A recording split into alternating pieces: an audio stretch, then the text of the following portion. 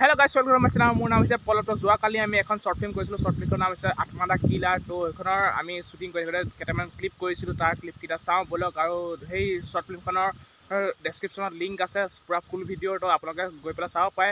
আৰু তাৰ আগতে আমি ক্লিপ কেইটামান চাই লওঁ। চেনেলটো ছাবস্ক্ৰাইব কৰিব নাপাহৰিব। তো ব'লক ভিডিঅ'টো আৰম্ভ কৰোঁ। ডাইলগটো কচোন. উটটো কেনেকে যাব বাবাজী খুৰা? তোৰ কি এটাই জাঙিয়া নেকি? সেইটো কথাতে লাগি আছ? নিজকে ৰজা বুলি কয়। কেনেকে যাব বাবাজী খুৰা? বৰকাল সৰুকাল বৰকাল সৰুকাল জানো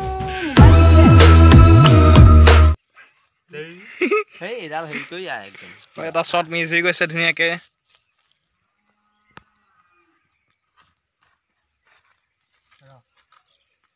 তই মোকো ললি কেলা লৈ আছিলি। তো আপোনালোকে গোটেই ক্লিপকেইটা যদি চাই ভাল পালে তো ডেছক্ৰিপশ্যনত গোটেই শ্বৰ্ট ফিল্মখনৰ লিংক আছে তো গৈ পেলাই চাব পাৰে। আৰু মোৰ ভিডিঅ'টো যদি চাই ভাল পালে লাইক কৰিব কমেণ্ট কৰিব আৰু চেনেলটো ছাবস্ক্ৰাইব কৰি দিব। তো আজিলৈ ভিডিঅ'টো সামৰি মাৰিলোঁ